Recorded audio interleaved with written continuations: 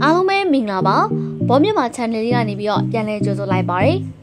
တဘာဝတရားကစမ်းကြယ်ပါရယ်ပြည့်ပြည့်စုံတဲ့အခြေအနေတစ်ခုနဲ့အောင်မြင်မှုတွေရယူထားနိုင်တဲ့လူတွေချို့ရဲ့ဘဝမှာတော့မှချွေးမှုတွေရှိနေတတ်ကြတာပါ 2000ခုနှစ်ပတ်ဝန်းကျင်ကမြခင်းစိတ်နေထက်မှလွှမ်းမိုးထားနိုင်ခဲ့တဲ့ဘရာဇီးကိုသွင်းဆက်ရိုနယ်ဒိုရဲ့ဘဝမှာတော့မှပဲလက်ကျစရာအတိတ်ဆိုတွေနဲ့ပြည့်နှက်လို့နေခဲ့ပူပါတယ်။ပရိသတ်တွေကချစ်စနိုးနဲ့ဒိုဂျီလို့ခေါ်ကြတဲ့ရိုနယ်ဒိုနဲ့သူ့ရဲ့အရေးစားကိုမိုင်လင်တိုမီဂတ်တို့ရဲ့ကြေကွဲစရာဇလန်တဲ့ပုတ်ကိုဒီနေ့ရဲ့ဗီဒီယိုလေးမှာတက်ဆက်ပေးသွားမှာဖြစ်ပါတယ်။ဘရာဇီးနိုင်ငံရဲ့မြို့တော်မှာမွေးဖွားခဲ့ပြီးဆမ်မာသွေးအပြည့်နဲ့ခြားတဲ့လေးတစ်ယောက်ဟာနယ်သာလန်ကလပ် PFV အသင်းနဲ့ဥရောပဘောလုံးစင်မြင့်ထက်မှစတင်တောက်ပခဲ့သူတူဖြစ်ပါတယ်။ ကန်ဒီယာရဲ့စမ်းကြယ်မှုကအံ့ဩစရာကောင်းလွန်ပါတယ်။ PFV မှာကစားနေတဲ့ဘရာဇီးခြားတဲ့ငယ်လေးဟာဘရာဇီးနိုင်ငံသူဘောလုံးကစားသမားလေးမိုင်လင်တိုမီဂတ်နဲ့စတင်တွေ့ဆုံခဲ့ပါတယ်။ဝါသနာချင်းတူတဲ့အတွက်သူတို့နှုတ်ရဲ့အချစ်ခရီးဟာအစောပိုင်းကာလတွေမှာတော့အဆင်ပြေနေခဲ့ပါတယ်။1996မှာဒိုဂျီတယောက်ဘာစီလိုနာအသင်းကိုပြောင်းရွှေ့သွားတဲ့ချိန်မှာတော့မိုင်လင်တယောက်လည်းစပိန်နိုင်ငံကိုလိုက်ပါပြောင်းရွှေ့ခဲ့ပါတယ်။ ဒိုဂျီရဲ့ဘဝမှာအကောင်းဆုံးနဲ့ရောရှက်နေတဲ့ဘဝလိုပဲပြောရမှာဖြစ်ပါတယ်။1996ခုနှစ်မှာတော့သူတို့ဦးသားလက်ထပ်ခဲ့ကြပြီးပျော်ရွှင်စရာမိသားစုဘဝလေးကိုတည်ဆောက်နိုင်ခဲ့ပါတယ်။ဘောလုံးလောကရဲ့ဇက်ခုံပေါ်မှာအရှိန်ဟုန်နဲ့တောက်ပနေတဲ့ဒိုကြီးရဲ့ပြင်ပလူနေမှုဘဝဟာလည်းတစားစားနဲ့ရိုးရင်းပျက်စီးနေကြတာပဲဖြစ်ပါတယ်။ဘလွန်ဒီယောစုကိုပထမဆုံးလက်ခံရယူတဲ့နှစ်မှာပဲဇနီးဖြစ်သူဟာအာဖရိကန်ဘောလုံးကစားသမားတယောက်နဲ့ဖောက်ပြန်နေရဆိုတဲ့ကောလာဟာလသတင်းတွေဟာစပိန်မီဒီယာရဲ့ထက်မှာတော့ပြန့်နှံ့ခဲ့ပါတယ်။ ဒါပေမဲ့အိမ်တော်ရဲ့အရှုပ်ထုတ်ဇလန်းတွေဟာဒိုဂျီရဲ့ကွင်းထဲကခြေစွမ်းတွေကိုတော့ရတက်နိုင်ခြင်းမရှိခဲ့ပါဘူး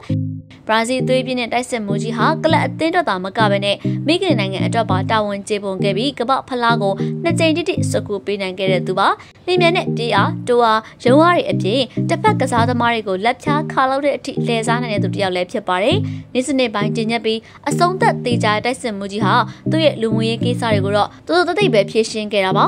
စပိန်မြန်မာလုံဝေးပြဿနာတွေရှိနေတဲ့ဇနီးဖြစ်သူနဲ့အီတလီမြေကိုပြောင်းရွှေ့ခဲ့ပြီးတော့ဒိုဂျီဟာအင်တာမီလန်အသင်းမှာ900တိကျကစားပေးခဲ့ပါတယ်။ဇနီးဖြစ်သူဘောလုံးသမားလေးမိုင်လင်ကိုလည်း ADS Fia Memonaza အသင်းမှာလိုက်ပါကစားစေခဲ့ပါတယ်။ဘရာဇီးသားကြီးရိုနယ်ဒိုဟာအီတလီမြန်မာသူ့ရဲ့မိသားစုလေးကိုပြန်လည်တည်ဆောက်ဖို့အတွက်တိတိစိတ်ကြိုးပမ်းနေခဲ့တာလည်းဖြစ်ပါတယ်။ဒါပေမဲ့စနီးဖြစ်သူမိုင်လင်းရဲ့လူမှုရေးပြဿနာတွေဟာကောလာဟာလာတွေအဖြစ်နဲ့ထပ်မံပေါ်ပေါက်ခဲ့ပြန်ပါတယ်။တားလေးတယောက်ကိုမွေးဖွားခဲ့ပြီးတော့ပျော်ရွှင်စရာမိသားစုဘက်ကိုပိုင်ဆိုင်ထားတဲ့သူမဟာဘာကြောင့်များအခုလိုဖောက်ပြန်နေခဲ့တာလဲ။တချို့ကတော့ဒီလိုဖြစ်ရတာဟာဒိုကြီးရဲ့အမားနဲ့မကင်းဘူးလို့လည်းဆိုကြပါတယ်။ဒိုကြီးကိုယ်တိုင်ကလည်းမိမဖြစ်သူမသိအောင်လို့ကိုရမှာလူဝင်ရေးဖောက်ပြန်မှုတွေရှိနေနိုင်တယ်ဆိုပြီးတော့ထောက်ပြကြပါတယ်။ဒါပေမဲ့ဘသူမှတက်တည်တော့မပြတ်နိုင်ခဲ့ကြပါဘူး။အိမ်တော်ရင်ကိစ္စမှာအကြဘက်ကိုရောက်နေပေမဲ့မြခင်းစိတ်နေထက်မှာတော့ဒိုကြီးဟာတားရဲတကောင်ဖြစ်နေရဆိုတာတော့အကြိမ်ကြိမ်တက်တည်ပြနေခဲ့ပြီး2002ခုနှစ်မှာတော့စပိန်ဘလူးကြီး Real Madrid ရဲ့ပထမဂျေဇင်စု Empire စီမံကိန်းမှာပါဝင်ခဲ့ပါတယ်။ Real အသင်းနဲ့အတူဒုတိယမြောက်ဘလွန်ဒီယောဆုကိုရယူနိုင်ခဲ့ပြီး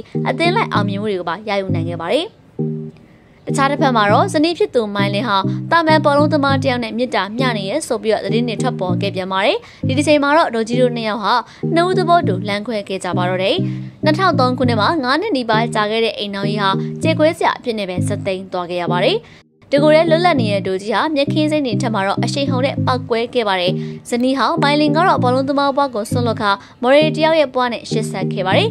ဆမ်မာသားကြီးတော်နယ်တို့ကတော့ရီယာတင်းတဲ့တူအမြင်မှုတွေကိုစက်တိုက်ရယူနေခဲ့ပါတယ်။ဒါပေမဲ့မိသားစုအရေးမှာတော့ဒူကြီးကရှုံးနေမှုတွေနဲ့ပဲစက်တိုက်ရင်ဆိုင်ခဲ့ရတာပါ။ဒူရီတော်သားလေးဂျူနီယာရိုနယ်ဒိုကိုထိမ့်သိမ်းဆောက်ရှောက်ဖို့အရေးတရားရင်ဆိုင်ခဲ့ပေမဲ့အဲ့ဒီအချိန်ကာလကတားဖြစ်သူဟာငယ်ရွယ်သေးတာကြောင့်မလို့ကလေးကိုအုပ်ထိန်ပန်ခွင့်မရခဲ့ပါဘူး။